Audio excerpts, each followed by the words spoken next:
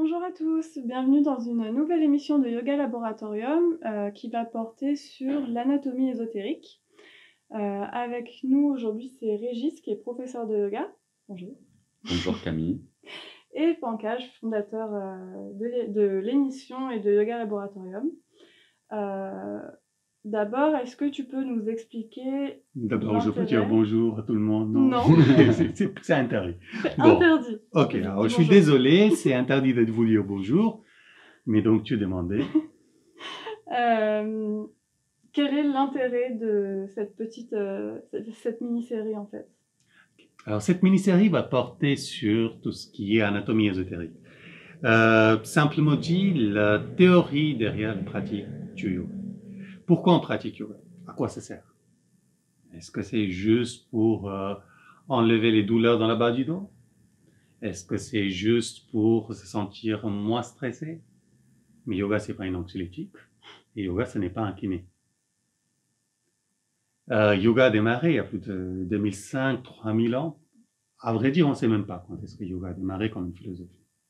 On sait juste que Patanjali a fait un recueil à manuel euh, vers 500 ans avant Jésus-Christ. Et yoga est bien entendu plus ancien que cela. Et à aucun moment, Patanjali, lui, il ne parle de euh, douleur dans la bas de dos, stress, anxiété, ou d'ailleurs autre chose. Qu'est-ce qu'il est en train de dire? Il est en train de définir yoga comme étant la dissolution des fluctuations du mental pour que Purusha, donc l'observateur, puisse reconnaître sa vraie nature, parce qu'à tout autre moment, il confond sa vraie nature pour le sujet de son observation, donc les fluctuations du mental. Alors, chaque fois, on cherche qui je suis. Petite question, grande question. Qui je suis, trois mots, mais on pose cette question à quelqu'un. Euh, là, j'ai regardé, euh, je pense c'était sur France Culture où se passait et c'était un poète qui se définissait comme étant sa langue. C'est beau, c'est magnifique, mais est-ce que c'est vrai? Chaque personne à qui on demande, il va chercher à se définir à travers son travail, à travers euh, sa famille, à travers euh, ce qu'il a réussi, ce qu'il a échoué. Mais est-ce que ces définitions sont vraies? En yoga, mais je dis yoga à toute philosophie indienne, il considère que l'être il a un potentiel illimité. Il n'est pas limité, il n'est pas juste sa langue, il n'est pas juste un livre qu'il a écrit, il n'est pas juste quatre paroles, même si ces paroles deviennent immortelles.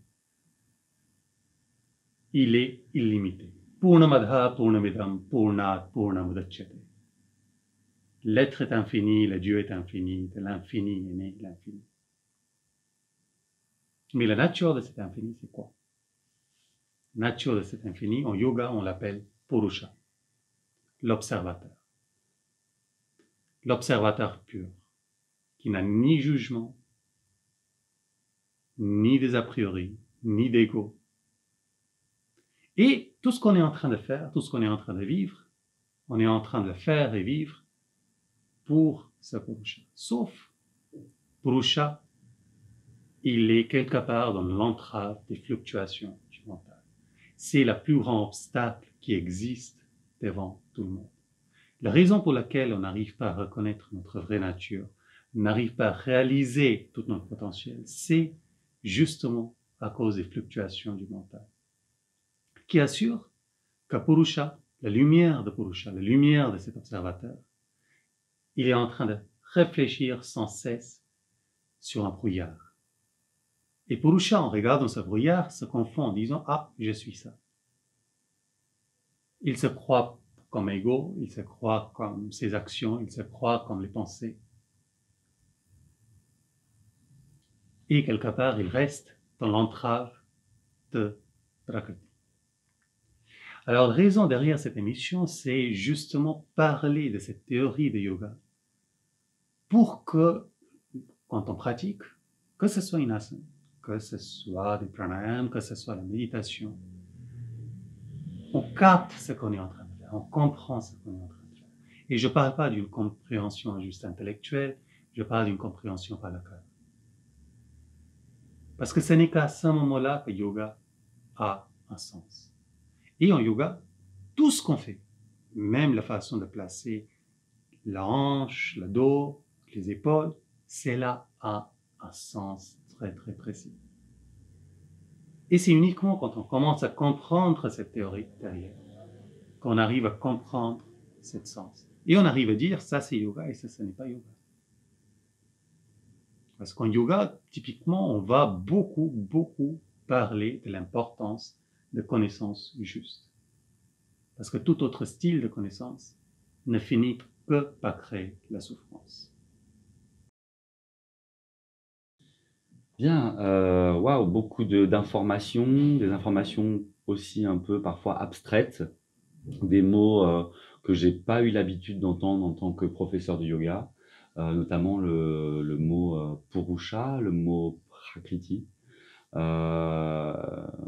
Est-ce que, alors bien évidemment, j'ai entendu que tu as donné des définitions. Tu parlais de purusha comme l'observateur.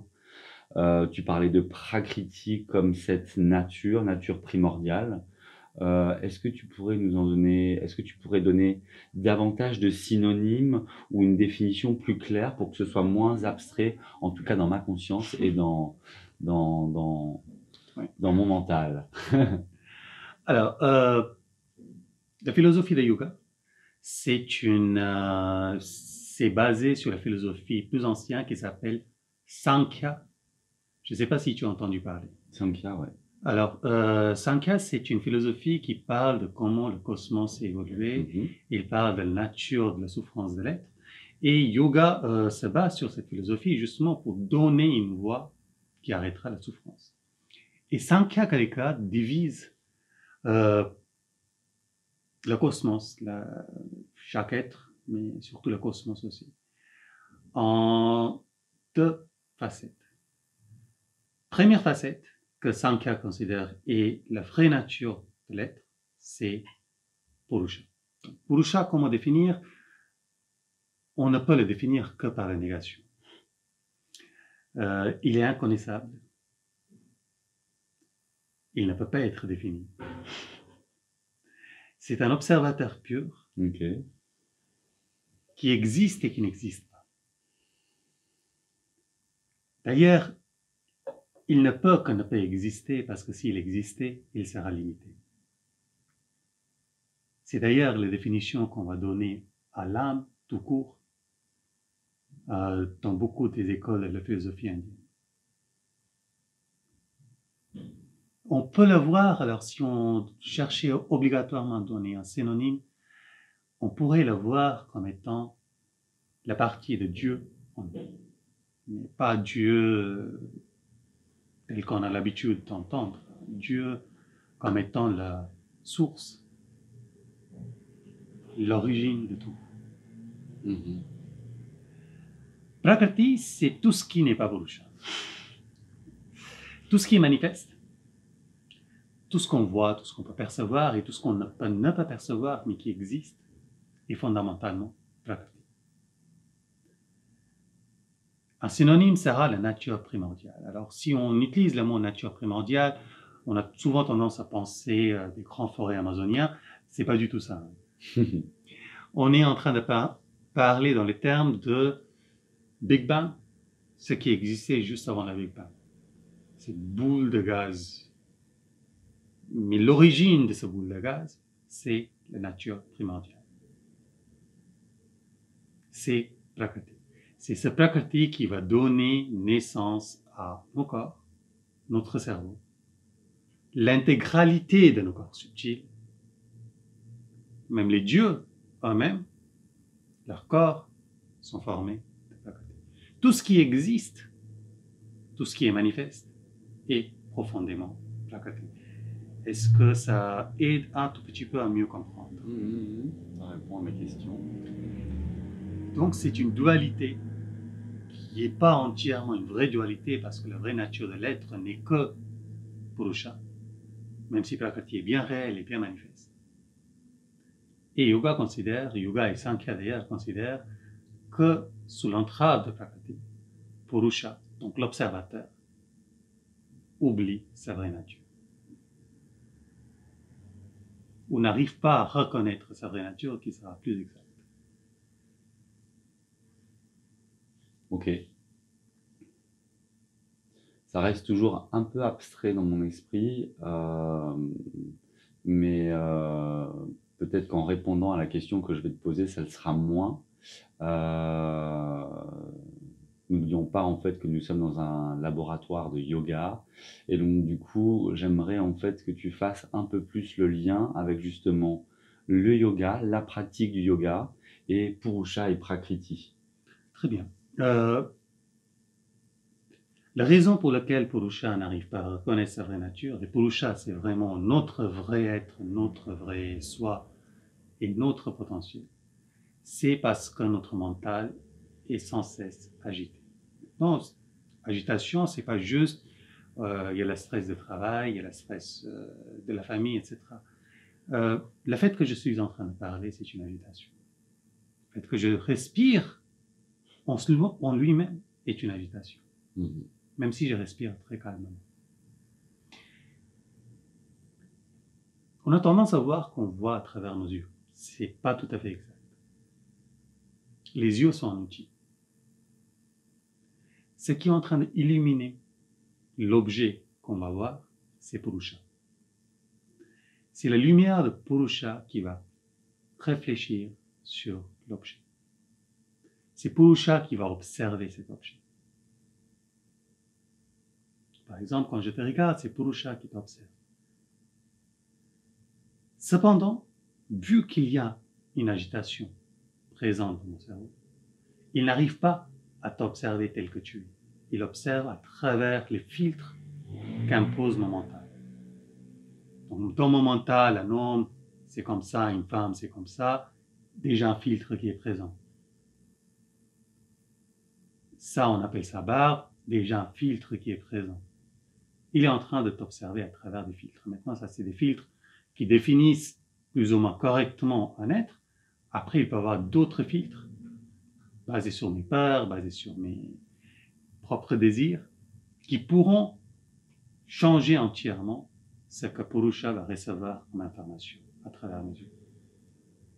Et donc, on va ressentir, ah, ça c'est une personne que j'aime, ça c'est une personne que je n'aime pas, ça c'est une personne en qui j'ai confiance, ça c'est une personne que je, dans laquelle je n'ai pas confiance. Déjà, dans la plus basique. Quelque part, on sera sans cesse en train de juger. Alors du coup, est-ce qu'on peut dire qu'on peut, euh, est-ce que on peut dire que le yoga améliore Purusha? Est-ce que Non, on peut dire que yoga permet la lumière de Purusha d'illuminer l'objet entièrement. Dit autrement, il enlève ou il permet d'enlever tout le brouillard que notre mental amène à la réflexion de Purusha. Ok, là c'est vraiment clair. Bien, on parlait de nature primordiale et donc euh, de Purusha que tu as qualifié un peu comme euh, l'âme, comme euh, aussi la, la, tu parlais de Dieu, un, un peu de cette présence de Dieu en soi. Je ne sais pas si je traduis en fait c'est euh, correctement en fait euh, ce que tu ce que tu as pu dire auparavant. Euh, et tu parlais surtout en fait de lien entre donc Purusha et euh, et, et Prakriti. Euh, en quoi en fait euh, Purusha ou Prakriti peut euh, entraver l'un et l'autre? Est-ce que ma question est claire? Alors, euh, Purusha n'entrave pas Prakriti. Purusha étant par sa nature non manifeste, dit autrement, il n'a aucun corps, Mhm. il n'a aucune manifestation physique. ouais. Mhm. Il ne peut pas entraver, il est limité. Donc, illimité ne peut jamais entraver quelque chose de limité. Et il ne peut jamais être compris par quelque chose de limité. Euh, Prakriti, oui, entrave Mhm. Purusha. dans ce sens-là ouais. Pourquoi et comment, c'est assez simple. Purusha, c'est un observateur, mais pour qu'il puisse observer, il faut qu'il y ait quelque chose à observer. Mhm. Il est en train d'observer le monde dans lequel nous vivons. Il est aussi en train d'observer tout ce qui est en train de se passer au sein de notre euh, propre Prakriti. Donc notre esprit, notre mental, tout ça, ça fait partie de Prakriti. Mhm. Et il est en train d'observer tout cela aussi.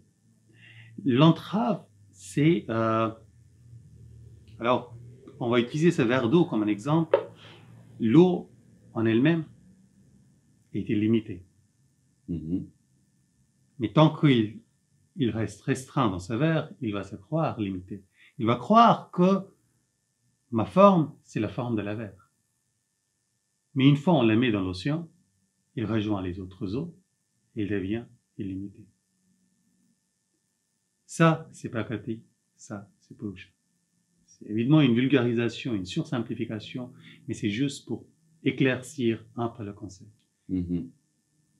C'est quelque chose, verre, c'est quelque chose qui permet quelque part cette eau d'être bu, d'être utile, mais en même temps, c'est c'est son entrave. Donc, c'est pas que Prakriti est fondamentalement négatif.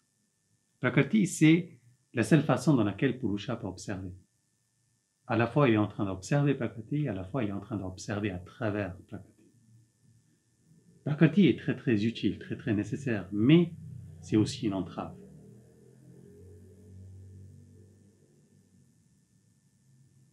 Ça me fait penser surtout à des cours que j'ai pu avoir euh, de physique quantique à l'époque où on parlait de matière, Mhm. euh, où on euh, dissociait justement cette matière avec l'observation, ce qu'on pouvait observer. Euh, du coup, c'est euh, c'est un peu flou dans mon esprit, mais, euh, mais euh, Disons que l'observateur, par sa nature, va toujours changer les sujets d'observation, sauf si cet observateur est pur lui-même, c'est-à-dire il est en dehors du paradigme du sujet de l'observation. mhm, Et c'est comment on définit Purusha quelque part. C'est l'observateur pur, mhm. qui n'est pas présent dans le paradigme qu'il est en train d'observer. Et La seule façon dans laquelle il ne peut pas être présent, c'est en ne pas étant. Ok, et du coup, euh, quel est l'intérêt en fait de connaître, euh, de, de, de, de comprendre et, euh, et de connaître Purusha et Prakriti pour, pour sa propre pratique de yoga ou je dirais énorme, énorme, parce que si on capte même pas pourquoi yoga existe, une pratique qu'on est en train de pratiquer, on sait même pas pourquoi il existe, mhm, qu'est-ce qu'il cherche à faire, c'est tout de même un peu dommage. mhm, Euh, mais surtout, c'est très souvent, même quand on commence à pratiquer yoga, et on la pratique avec beaucoup de dévotion, beaucoup de régularité, on le fait tous les jours. Et finalement, on se rend compte que, euh, à un moment donné, on a progressé dans les asanas, on a progressé dans le pranayam, on se sent plein d'énergie, etc., etc. Parfois, on sent toujours un vide. À quoi ça sert tout ça? Quel est le but de tout ça? Tant qu'on ne capte pas pourquoi on est en train de faire yoga, ce vide va toujours rester. Parce que le vrai potentiel de notre être, c'est vraiment Purusha. Ça ne veut pas dire que, comme dit Patanjali, il faut dissoudre Prakriti. Parce qu'il existe d'autres euh, philosophies qui vont pas parler forcément de la dissolution de mais qui vont déjà parler de reconnaître la vraie nature de l'être. Reconnaître sa vraie nature. Notre vraie nature, c'est pas la vraie nature de quelqu'un d'autre. mhm, Ensuite, pour moi, en tout cas personnellement, je considère, c'est euh, si yoga c'est un couteau en or et on est en train d'utiliser pour beurrer nos sandwichs, c'est un peu dommage. Euh, c'est vrai que yoga aide énormément dans la vie de tous les jours, mais yoga peut aider tellement plus. Et une fois on commence à capter la raison derrière la pratique de yoga, une fois on commence à capter la théorie derrière yoga, ça transforme la pratique. On n'a plus besoin de se motiver pour pratiquer. On n'a plus besoin de, euh, de faire des retraites, de, de partir euh, pendant des mois quelque part. On commence à pratiquer avec chaque souffle. Même plus besoin d'un cours. On commence à pratiquer avec chaque inspire et chaque expire. On devient quelque part, on cesse de pratiquer yoga et on devient yogi. Ou au moins un apprenti yogi. Mhm. Et tout cela vient justement quand on arrive à capter la raison d'être de yoga, la raison d'être de yoga qui est tellement la raison d'être de nous, en fait.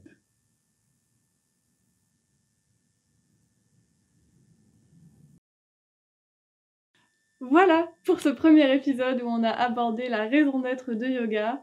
Euh, Purusha et Prakriti, qui sont deux concepts essentiels euh, à la compréhension du yoga, et deux concepts qu'on va retrouver tout au long de l'émission sur l'anatomie ésotérique.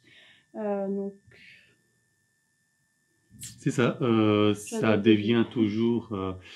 C'est-à-dire qu'on va parler de beaucoup d'autres choses, comment marche notre esprit, comment marche notre corps, comment yoga agit. Par exemple, on parle de Utthita Trikonasana, pourquoi il faut le faire Pourquoi il faut garder les hanches de telle façon et telle façon Comment il agit sur les chakras Mais pour comprendre tout cela, il faut aussi comprendre qu'est-ce que c'est les chakras, qu'est-ce que c'est le temps, qu'est-ce que c'est, euh, comment le souffle agit. Donc, euh, tout à fait, Purusha et Prakriti, ça, on démarre par ça quand on apprend yoga, en tout cas quand on apprend yoga traditionnellement. On commence par apprendre cela et après la suite. Et merci beaucoup tout le monde, du coup. merci de nous avoir écoutés jusqu'au bout. Euh, vous pouvez nous laisser des commentaires si vous avez des questions, si quelque chose n'était pas clair ou si vous aimeriez qu'on, que il aborde euh, d'autres sujets pour les prochains, pour des prochaines vidéos. Euh, que ce soit dans les commentaires de la vidéo, sur le site, n'hésitez pas à nous contacter. Merci beaucoup. Merci Régis, merci, Régis. merci Camille. Merci, merci à vous deux, à très bientôt.